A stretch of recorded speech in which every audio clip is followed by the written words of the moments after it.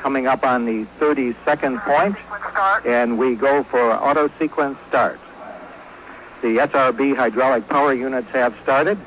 These move the solid motor nozzles to steer the vehicle. T minus 20 seconds.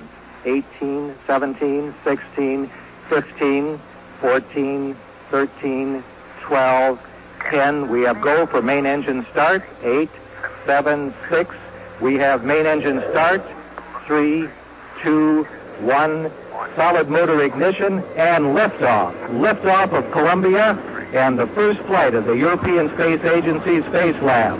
The shuttle has cleared the tower. Roger, roll.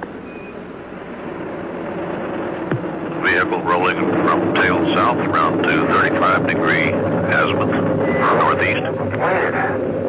Roger.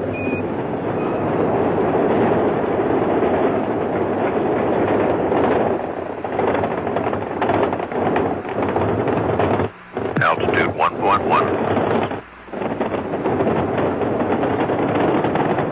All APUs running at 106% of uh, RPM.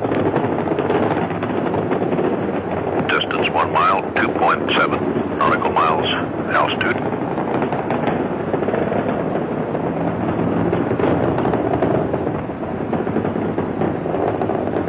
Five miles altitude. Roger.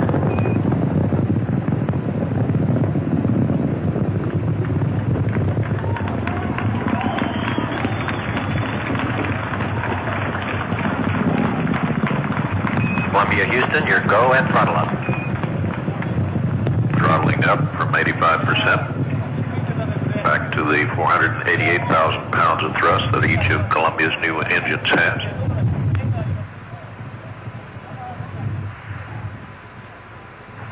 Miles altitude, ten miles downrange.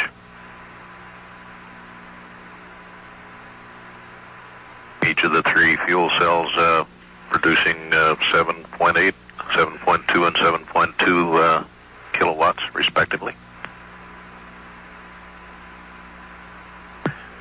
20 miles altitude, 18 miles downrange. Velocity 4,163 feet per second. Roger on the PC. 25 miles altitude, 26 miles downrange. Roger, SRB set. SRB uh, separated. SRB engines uh, have pulled away from the uh, spacecraft at this